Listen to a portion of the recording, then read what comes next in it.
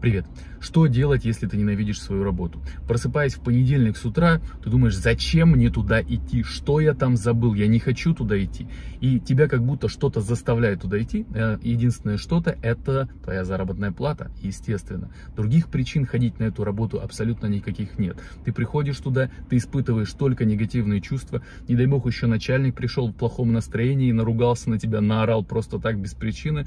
Да? А если еще и причина есть, то вообще э, жопа полная, да, на работе находиться невозможно. Живешь от э, выходных к выходным, и в выходные ты хоть как-то чувствуешь эту жизнь, да, там, гуляешь, отдыхаешь и так далее. Ну, а перед тем, как я отвечу на вопрос, естественно, нужно завести машину, потому что вот эта вот надпись вы должны увидеть.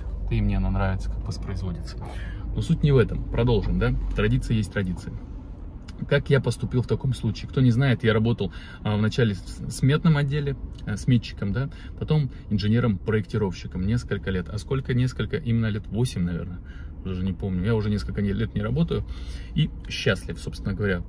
После увольнения, на самом деле, я как будто вот начал жить по-настоящему. Реально, я вот э, сижу, работаю дома, да, я, я не снимаю офис принципиально, мне нравится работать дома сижу, работаю дома, в любой момент я могу встать, выйти, погулять. Просто вышел, погулял.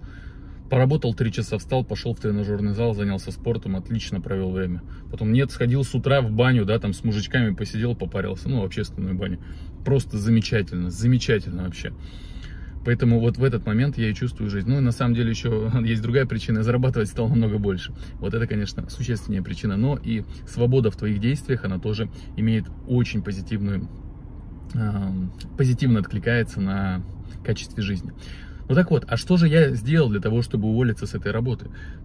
А, вот так вот просто взять, встать и сказать, все, пошли вы все, я ухожу. Так делать, конечно же, нельзя.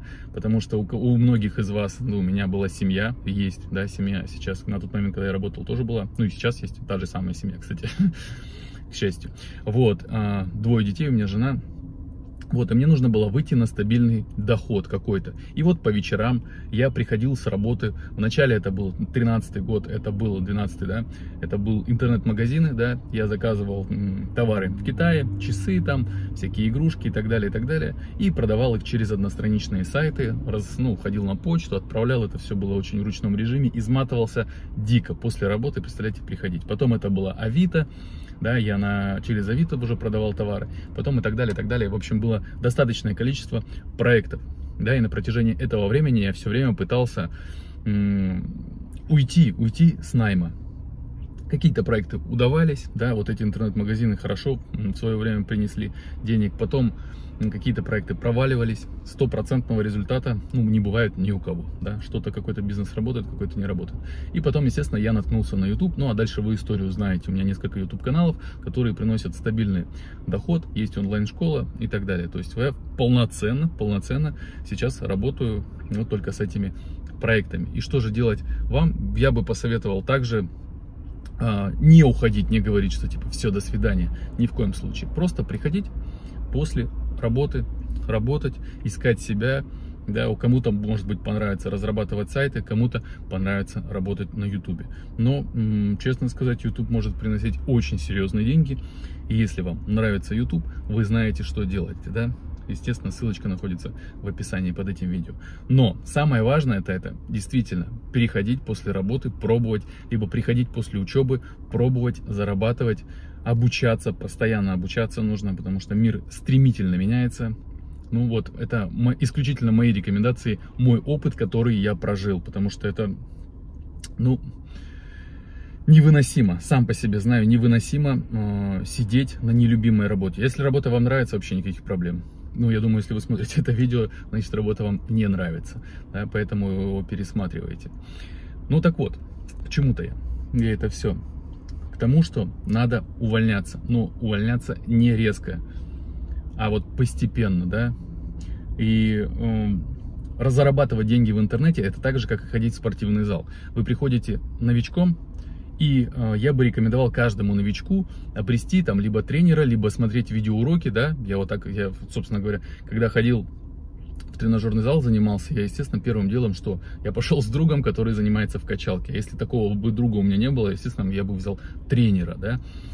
Вот, так же и в интернете. Нужно найти какого-то себе наставника и вот с ним работать, потому что, ну, подойти к э, гантели, чтобы она тебя прижала, ну, смысла в этом большого нету. Ты не накачаешься особо, и здоровья тебе это не добавит ну, как бы навредишь только себе, растянешь сухожилия и так далее, да, и большие веса тоже не возьмешь. Также, кстати, и с заработком, да, денег в интернете. То есть нельзя сразу прийти и сказать, типа, я хочу зарабатывать 100 миллионов долларов, ну, или хотя бы 100 тысяч рублей. А сколько ты до этого заработал, ну, там, э, в своем бизнесе? Э, ноль.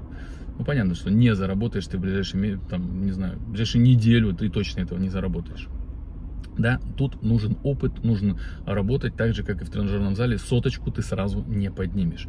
Нужно какой-то какой период времени, чтобы а, мышцы привыкли. Также и с мозгом, да, а, чтобы обрести опыт какой-то работы и так далее, и так далее. Понимаете, да? Наработать какую-то базу знаний своих личных и опыта для того, чтобы зарабатывать такие деньги. Да, какие любые деньги, да, там 100 тысяч рублей, если вы хотите, это вполне реально в интернете, вполне.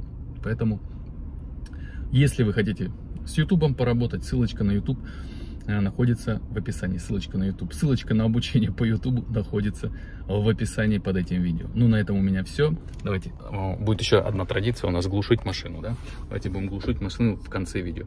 Ладно, все, пока-пока. Давайте, пока-пока.